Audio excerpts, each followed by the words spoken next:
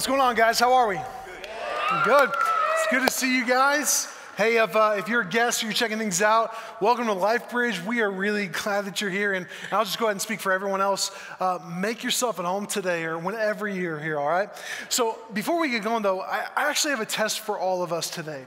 Um, it's November 24th. How many of you have already put up Christmas decorations?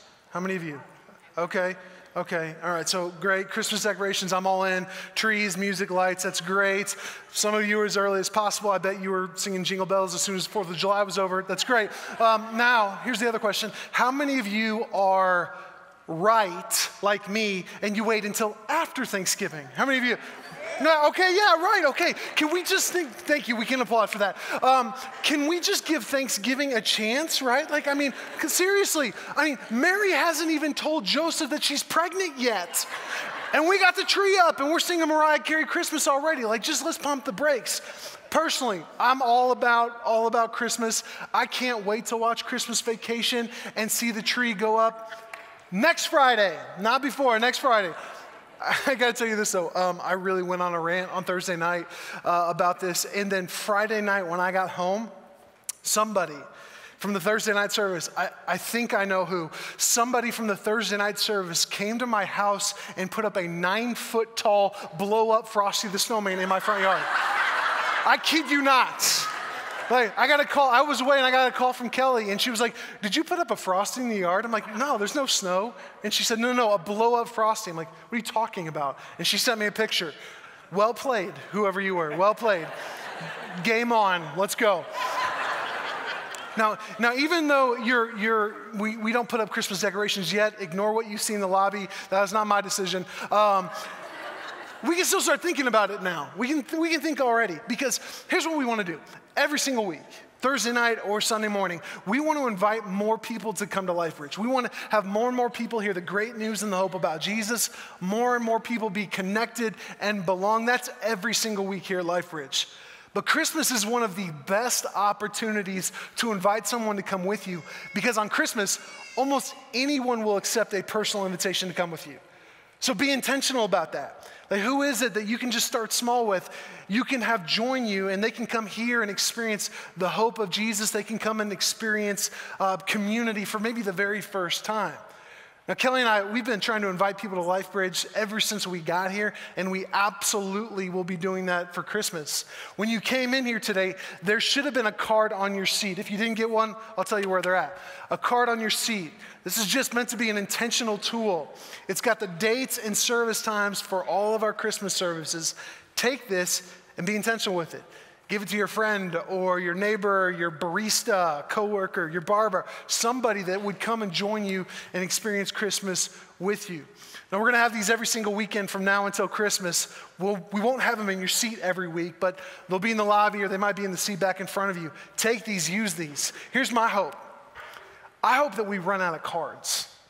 Hope that we are so intentional as a church about inviting people to come with us at Christmas that we actually invite more people than we printed cards. That's the challenge, okay? Take, take it or leave it. Take these cards, use them, be intentional with them. Even though you're wrong if you're putting up Christmas decorations now, it's not, early, it's not too early to start inviting people to Christmas now, all right? And hey, if you're a guest or you're checking things out, we're in a series right now where we're walking through the book of Colossians. And last week we really looked at what our mindset is, is set on because whatever you're thinking about, whatever your mind is locked onto, that's going to determine the direction that you go. So last week we talked about if my mind is locked onto the realities of heaven, you can hit up the website and see that message. If my mindset is locked onto the realities of heaven, then those realities are going to become tangible in my life. And then on the other side of the coin, if my thinking is all about the things of our world, and there's a whole list of examples of what that is, then those things are going to become tangible in my life also. And this is what can be frustrating for us at times. Sometimes we feel like we get stuck in maybe a, a pattern, or maybe you, you, feel like you fall back into something that, that you've wrestled with for years, and it can be really frustrating. Like maybe the pattern that you fall back into is, is one of anger, like anger that you can't control. And it just feels like anger is eating you from the inside.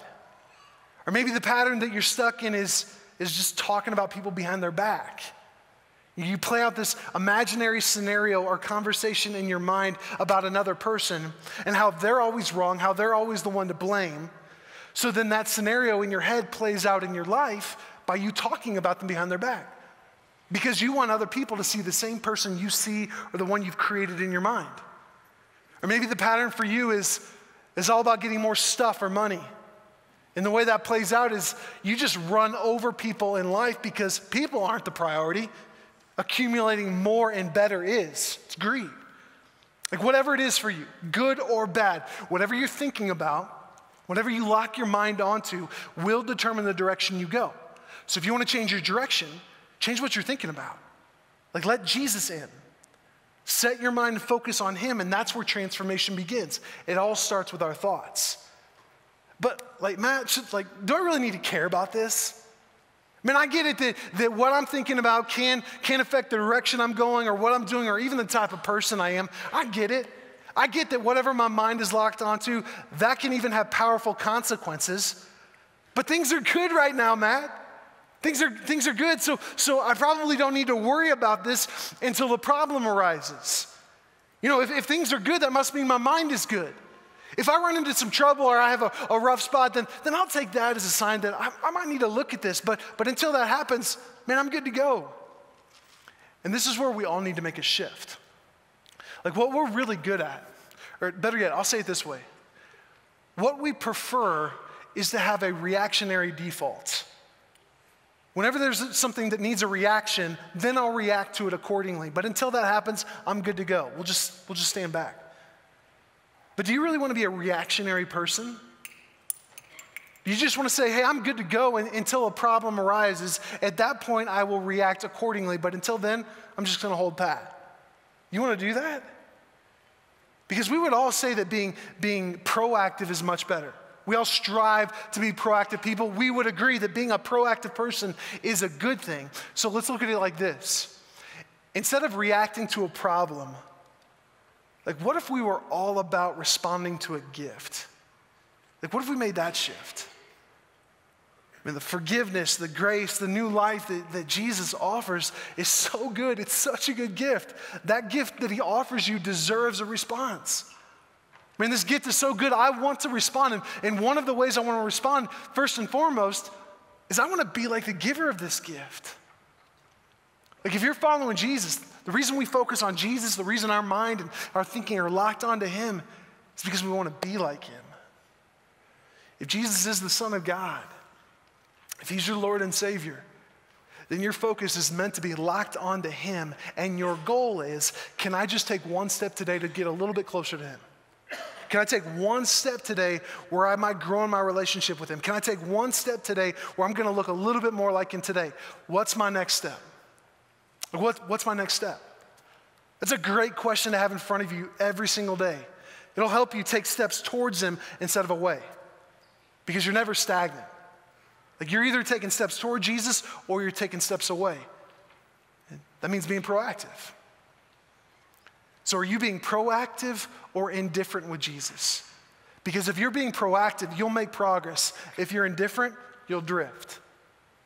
Are you being proactive or indifferent? And what's your next step? Let me set up a next step for all of us, okay? How good does it feel to put on a brand new shirt? Brand new shirt. Like you go to the store, you get a shirt, you're like, man, I really like the way it looks. I'm gonna put it on. Oh man, my spouse thinks I look good in this. I'm gonna wear it for four days straight. Like it feels good to put on a good, like a new shirt, right? That's that's awesome.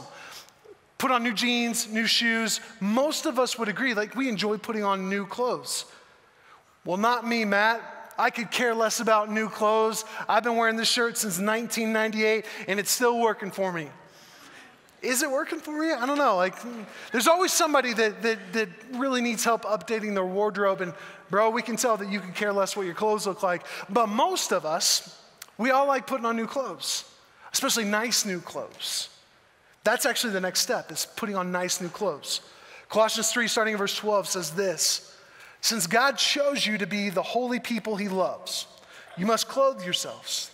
You must clothe yourselves with tenderhearted mercy, kindness, humility, gentleness, and patience. Make allowance for each other's faults and, and forgive anyone who offends you. Remember, the Lord forgave you, so you must also forgive others. Above all, clothe yourselves with love, which binds us all together in perfect harmony. And let the peace that came from Christ rule in your hearts. For as members of one body, you are called to live in peace. And always be thankful. Always be thankful. Let the message about Christ in all its richness fill our lives. Teach and counsel each other with all the wisdom he gives. Sing psalms and hymns and spiritual songs to God with thankful hearts. And whatever you do, whatever you do or say, do it as a representative of the Lord Jesus, giving thanks through him to God the Father. So, these new threads that we're putting on are compassion, and mercy and gentleness and kindness and humility and patience. These, these attributes, if we're comparing them to clothes, that's the analogy that Paul wants to use. And those are nice clothes. I would love it if, if I was thought of as someone that's compassionate and humble and kind and gentle and patient. I, I would love it if when you saw me, you saw me wearing those kind of clothes. But there's days where I put on a shirt and my shirt's anger. That's me. Or maybe I'm wearing some pants that are greed I can wear a jacket of pride, and some days I, I lace up shoes of impatience. Anybody else wear clothes like that? Yeah, don't act like I'm the only one. Like, okay. Yeah, because it's a lot easier to wear anger than it is compassion. It's a whole lot easier to put on pride than it is humility. It's a lot easier to be harsh than it is gentle. And this is why you have to be careful. This is why we can't be indifferent. Because if we're indifferent, we will naturally go to our default. And your default is not humility. Sorry to break the bad news to you, it's not. Your default, just like mine, is pride. Your default is not compassion, it's, it's either anger or harshness. Your, your default is not patience, it's impatience. There's no such thing as a naturally humble person. The naturally merciful person, that, that's a myth. Whether we're talking about patience or gentleness or any one of these attributes, none of us naturally put those on. It's not our default. That's why we have to be active in putting on the right clothes. That's why Colossians says, clothe yourselves. Don't assume that it's going to happen.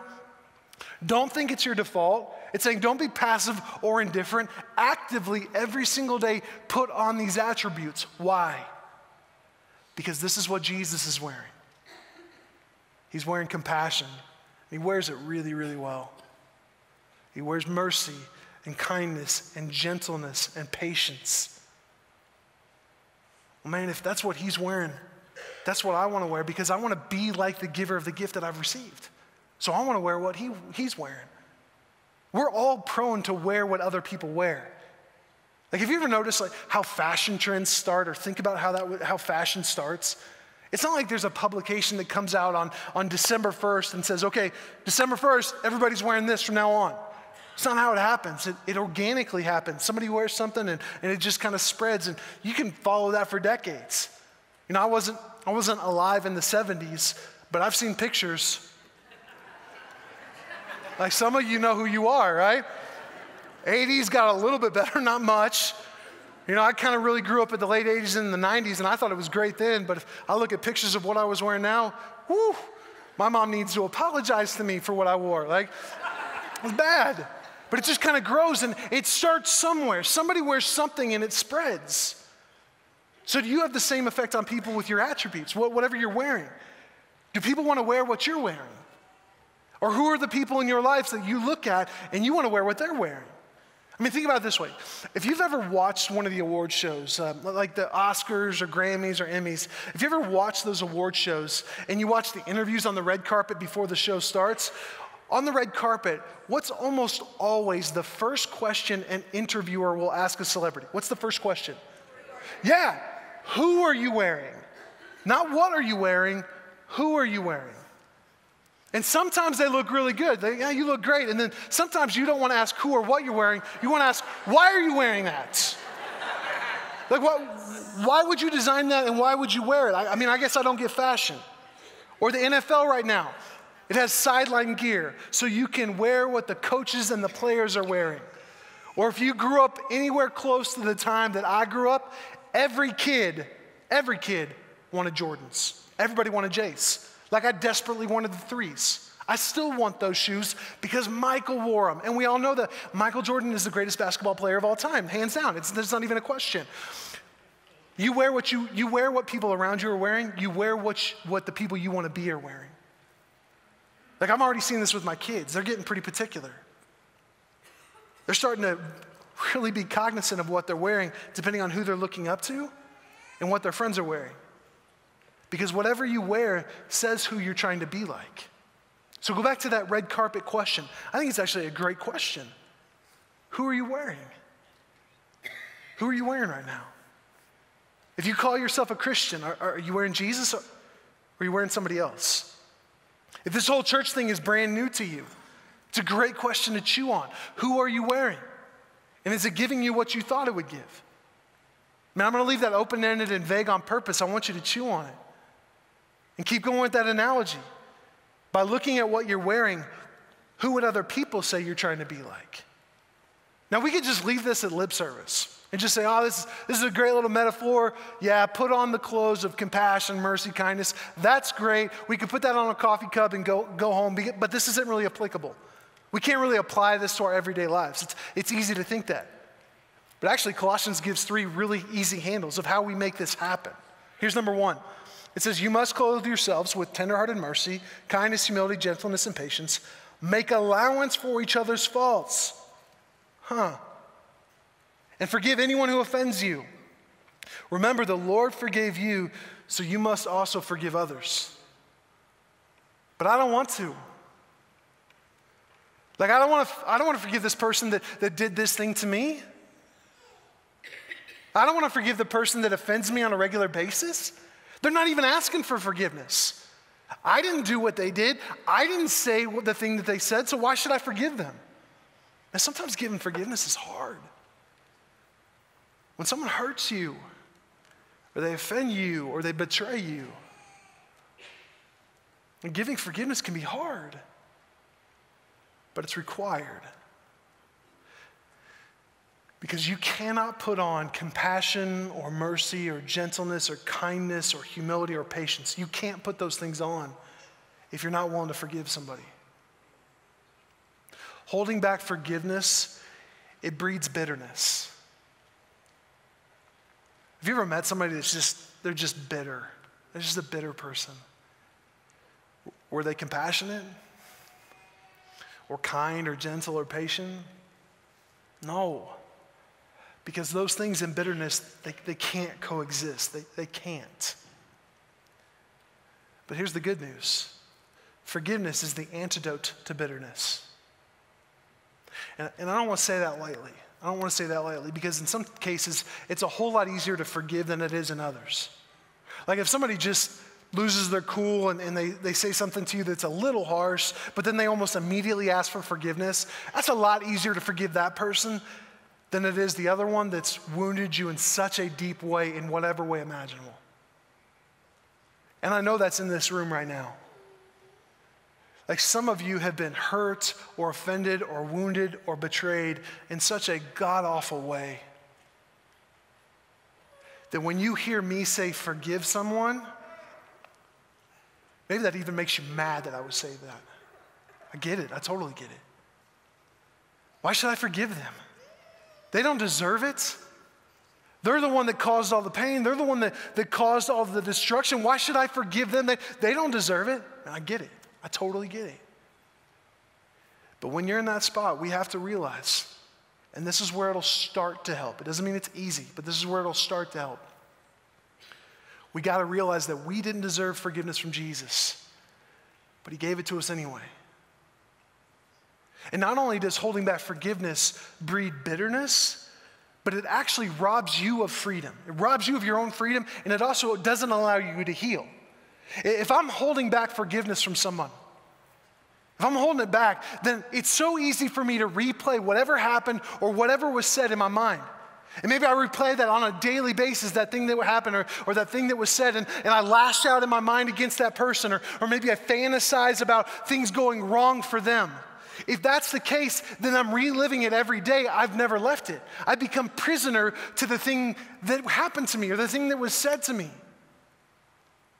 But by letting go of it, by forgiving and letting go of it, you free not the other person, you actually free yourself. Now, when somebody says, don't ever say, don't ever flippantly say to other people, hey, just forgive and forget. Don't be flippant with that. Absolutely, we want to forgive. But forgetting's hard. It's really hard. It doesn't, there's some stuff you won't ever forget. I've got scars. I'm pointing here because I've got one right here. I've got scars all over my body from years of sports and different things. I got scars. I can still see those wounds. I can't feel them anymore, though. I can see them. By forgiving, I can let my wounds turn into scars. I'll still be able to see them, but I won't feel them. But if I'm holding forgiveness back, those open wounds, they stay open wounds. I'll never be able to heal. Holding back forgiveness, it's like you, it's like you drinking poison and hoping the other person dies. That's what it's like. It's self-inflicted harm. Like be free, let yourself heal by forgiving whoever it is that you need to forgive. And I know I'm not, I'm not saying that lightly. I know for some, some of you, that's a really, really big ask. Be like Jesus, forgive like Jesus. And because you've been forgiven, we're expected to forgive. Also, expect to be wronged, expect to be offended, either unintentionally or intentionally. Doesn't make it okay, doesn't mean it won't hurt, but make allowances. That's what Colossians says. Build in margins of grace and forgiveness so that you can give it out before people even need it. That's exactly what Jesus did for you and me. He built in allowances for our sin, our errors, and the way we would offend him. He built in forgiveness and mercy and grace before we ever even took breath. That's how he was able to go to the cross freely. He knew it was coming. That's how he could even say at the very end, some of his very last words on the cross, he says, Father, what? Father, forgive them. Because I don't, I don't understand that. Like, why would you do that? Like you're, you're being executed, you're an innocent man, and the people that are executing you are mocking you while you're dying. Why would you spend some of your very last breath saying, Forgive them? They don't deserve it. I'm an innocent man, they're killing me, they're mocking me. Why would I forgive them? But Jesus does. Why would you spend your last breath saying that? Because Jesus knew how powerful it was for you and for me, for them. He also knew how powerful it was for him. He needed to do it too. You cannot put on the clothes that Colossians is talking about. You can't put them on unless you're willing to forgive. Number two, you can't forgive unless you're willing to love. It says this above all, clothe yourselves with love, which binds us all together in perfect harmony. Why Jesus forgive you? Because he loves you. That's it. It's that simple. I, I, I don't have anything else to say. There's not some deep theological breakdown of that. Jesus' forgiveness for you was driven by his love for you. It's that it. It's that simple. Because whenever you love someone, you're willing to do whatever for them. It sounds like the beginning of a Bryan Adams song, doesn't it? Whenever you love someone, you want to put them ahead so that they thrive. Whenever you love someone or other people, you're willing to forgive them. It doesn't mean it doesn't hurt, but you're willing to forgive them. Whenever you put on love first, wearing compassion and kindness and mercy and, gentleness and humility and patience, it makes wearing those things so much easier and they look so much better. You'll be able to love someone and other people when you realize how much you are loved. It's going to take you all of eternity to understand and realize how much Jesus actually loves you. But my hope and my prayer and vision for this place is you find out right here first. You start learning about it here. How much you're actually loved. That will drive you to love other people. And then here's number three.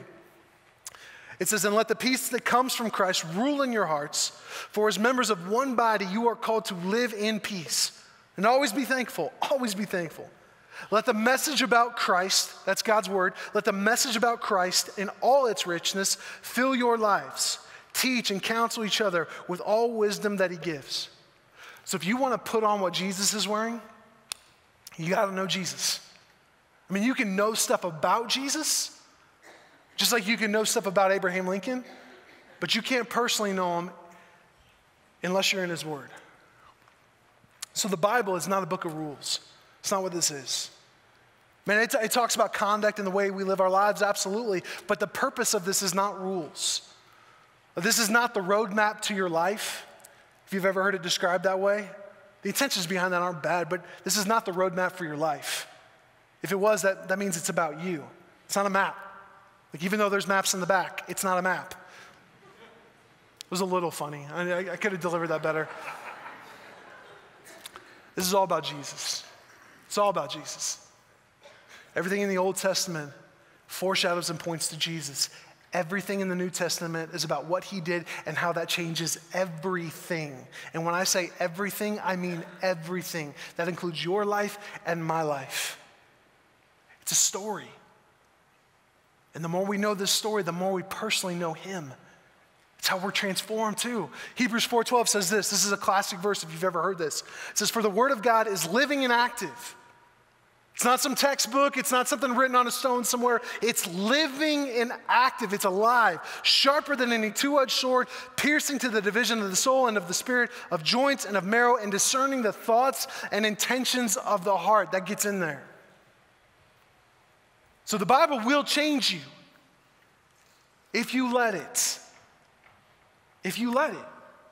And I know at times it can be overwhelming or even intimidating. Like, man, like, I mean, I don't, I don't know. I don't, I don't know what it means. I don't understand it. I don't even know where to start. Totally get it. You're not alone. Or maybe you come at it from another angle like, hey, I'm going to conquer the Bible, I'm going to master it. Both of those approaches are wrong. Don't ever come at it like it's something to be conquered, and also don't be apprehensive either. But instead, here's how we approach the Bible slowly. Slowly. Read it slowly so that it reads you. That's the point of reading the Bible, is to let it read you. I never want to approach this like this is something I'm going to master or conquer. I want it to conquer me. Because that's where growth happens. That's where my own personal transformation happens, is when I let this read me. That was happening this morning. Man, I'm, I'm working through First John in my own personal quiet time right now. Whew, it was read me this morning. That's where growth comes. Here's my, here's my prayer. Every time I get into God's word, here's my very profound prayer to start off God, will you just help me understand what I'm reading and speak to me? That's it. Every time. A couple years ago, I got the chance to meet a, a really well known British pastor who's in his mid 80s now. And um, man, it was just that guy, he's been a part of some incredible movements in the church. He's experienced more in his lifetime than three other people put together. He's a walking billboard for these clothes in Colossians 3. In fact, we could, we could have him be a runway model for these. so we were talking, and, and um, it's just really apparent really quickly. This guy knows Jesus. Have you ever been around someone like that? That as soon as you're around them, you just realize, wow, they know Jesus. They've been around him because he or she wears these clothes so well. You ever met somebody like that?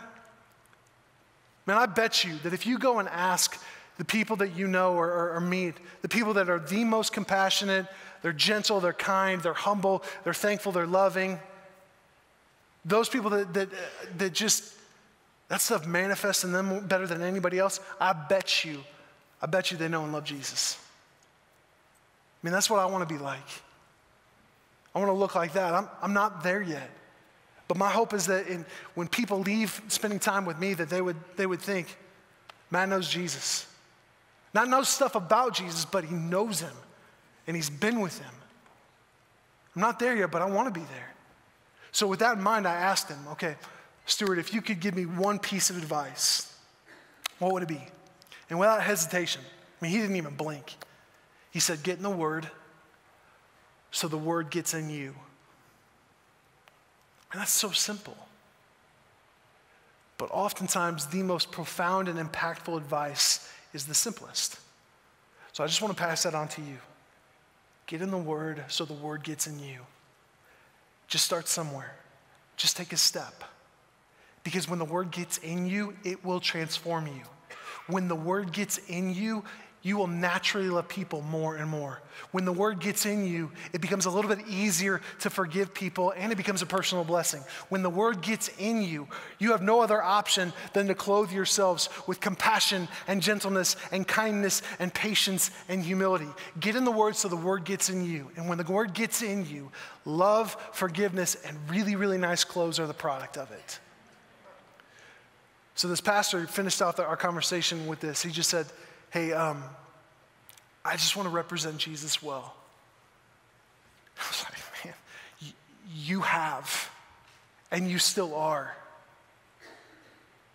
He was praying Colossians 3:17, and he modeled it.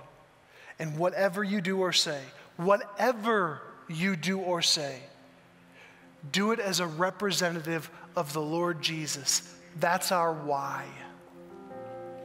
So if you're a Christian, if that's what you call yourself, if you're following Christ, everything you do, everything you say is meant to represent Jesus well. As a church, LifeBridge, everything we do, everything we say is meant to represent Jesus. Everything we do around here has a purpose, has an intention, and it's always to represent Jesus well. Some days we don't do it well, some days we will.